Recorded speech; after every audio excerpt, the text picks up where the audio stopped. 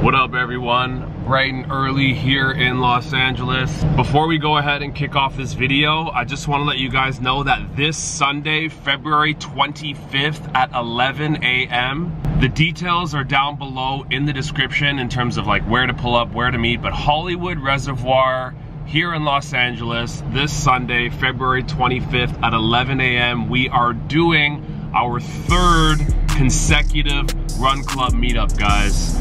You guys know the first one went crazy, second one went insane, so I don't even know what this one's gonna be like. We got all kinds of goodies that I'm be handing out. We got a sponsor this time, so they're gonna be passing out all kinds of coconut water and shit like that, so it's gonna be a super dope vibe. This time I'm actually gonna get someone to ride a bike and rock a speaker, you know what I'm saying? So we like got some tunes and shit and we just, you know, vibe all out together and shit like that. I'm super pumped for this Sunday. I hope you guys can all make it. I will see you there.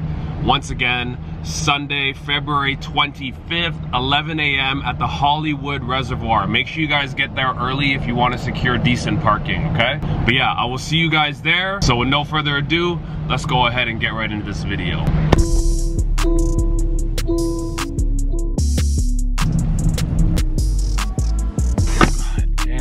That was a good class.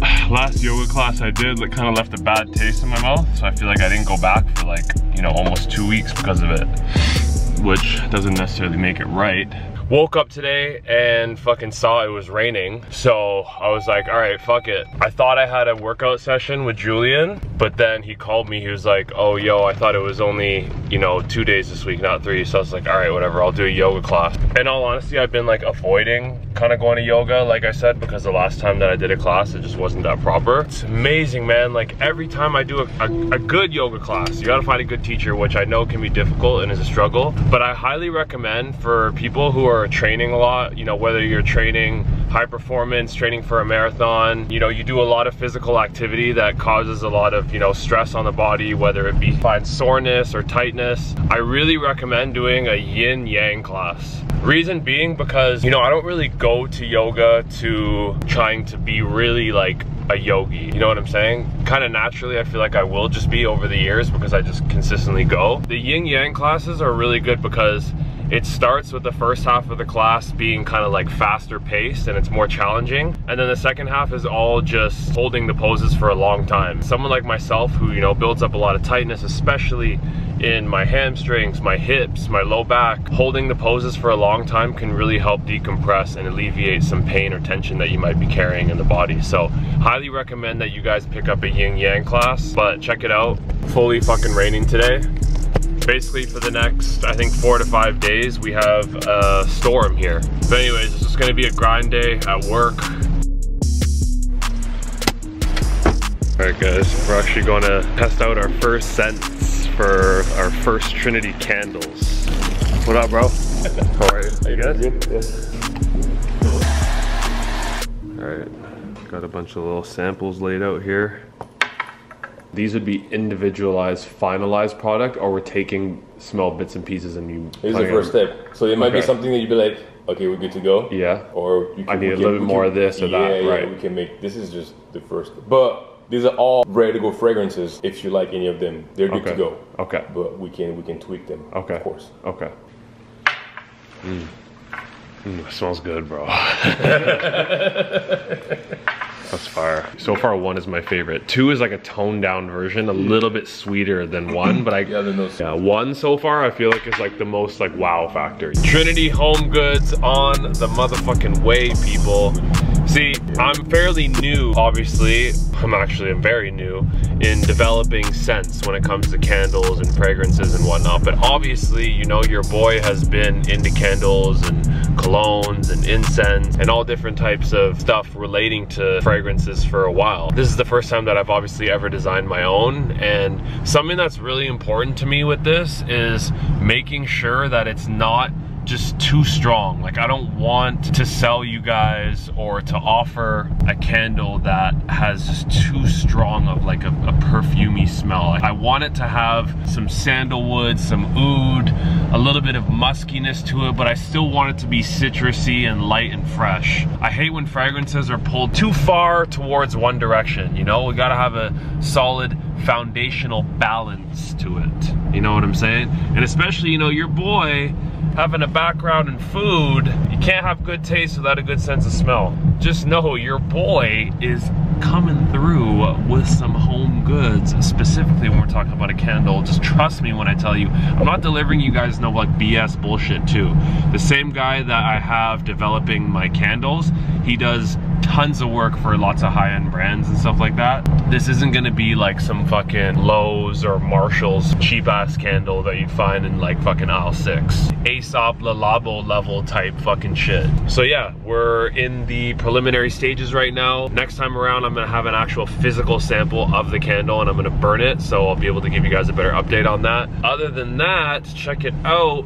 Your boy is rocking the Nerd Blue sweats which by the time you guys see this video, for sure they will have already been out. I'm assuming that they have sold out because I didn't stock too, too many and there's been a high demand of them. A lot of, you know, feedback about these in the comments and the replies and whatnot. Just know that I will be restocking these pants in this color and most likely the black and probably gonna offer some other colors because these pants are fucking incredible, bro. I'm super picky when it comes to sweats. Is the crotch too high? Is the waist too loose? Are the trimmings on the bottom proper? Are they too long? Are is the inseam too fucking snug? Are they nice and wide in the right areas? Bro, trust me, your boy basically lives in sweats here in LA. If there's anything I'm taking my time on, it's dialing in these sweats. If you guys head to the website and you're not sure about like how certain products fit or how they feel, all the products on Trinity should have customer reviews. So click the link down below in the description if you want to shop Trinity or even if you just want to go look at some customer feedback, you're more than welcome to do so. You know what I'm saying? Anyways, on with the rest of the vid. I don't know what we're doing next. Maz, sauce me up a little bit. Maybe fire me up a little fucking B-roll. Just sauce me up with something here, bro. I need you to sauce me up here, bro.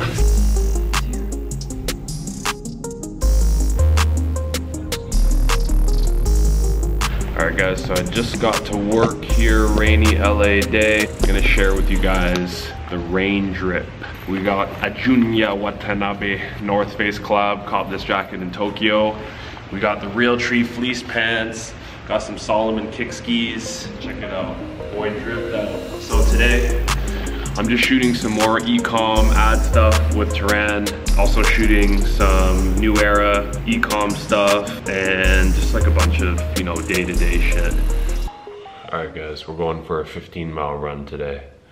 Not gonna lie, mentally fucking feel like shit today. In my head. Yesterday I just had an off day and was just like eating like shit kinda, I don't know, I just didn't have a great prep day. And I told myself I was going to and I didn't. So we're suffering the consequences because of that. Slept in, it's late today. I've just been trying to hydrate, flush out my system from all the shit that I ate yesterday. I had a late night poker playing with the boys. We gotta do 15 one way or another. I'll see you guys on the run. Last mile, all uphill. We did it. 15 miles, baby. Two more than a half marathon. Ah. I am pleasantly surprised with that result because I felt like shit the first half. I did not feel light on my toes at all. 7.30 was the average mile time. 7.30, I mean, to be honest, that's not bad at all, and I felt slow. Definitely making good progress. I don't know why mentally, maybe if it's the weather or what it is, I just been in my head about shit lately. Oh my god, let's shower up. That was a fucking run and a half, baby. Let's go.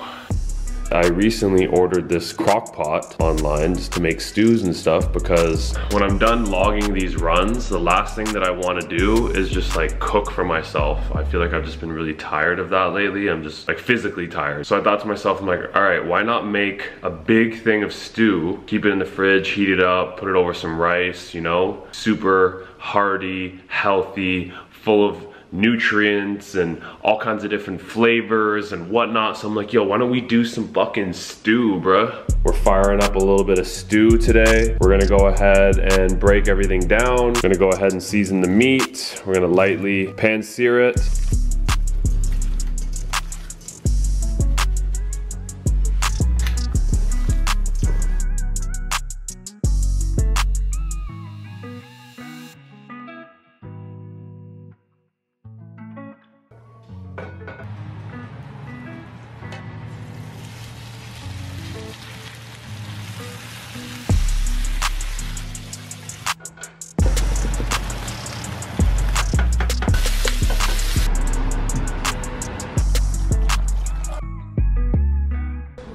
Cover this up.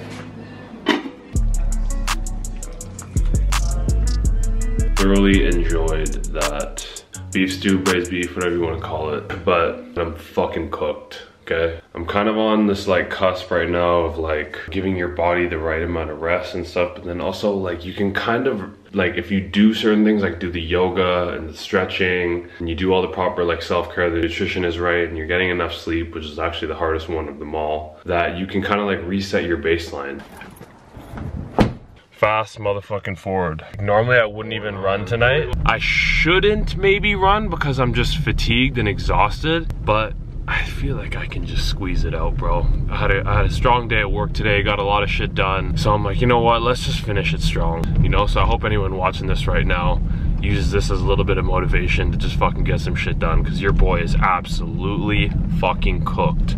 But I'm pulling up to undefeated right now. We got to get some speed work in. Linking up with my boy Austin. Want to go smash some speed work treadmill type of shit right now. So undefeated, you already know, let's go. All right, so for today's speed workout, guys, we got a one mile warm up followed by two 400s, both of those being at a sub 130, resting for one minute and 30 seconds between sets. Then we're moving on into our 800s. We got six of those, all of those being at a sub 330, and between each of those, we're resting for three minutes and 30 seconds. And then after that, we got a one mile cool down. It's the last one, baby. Come on now. Show them that we really do this, bro. Let's go. Show them that we do this. Yes, sir. Yes, sir. Let's go. Guys, I hope you enjoyed that video. So for the next upcoming episode, I have my boys pulling up in town and you know obviously when Tarek and Zach are in town it's always a good time. We're gonna be heading out to Big Bear, we're gonna be doing some snowboarding, we're even trying to rent some dirt bikes and do some dirt biking shit but but yeah this time around myself and Kai are really trying to make an effort to do a lot more group activities. So obviously with that being said I'm gonna try to vlog as much of it as I can. Thank you guys so much for watching this video. I hope you guys please can give your boy a thumbs up make sure you hit that sub button. Drop a comment in the section down below. We already know what going on. But anyways, guys, I'll see you next episode. Peace.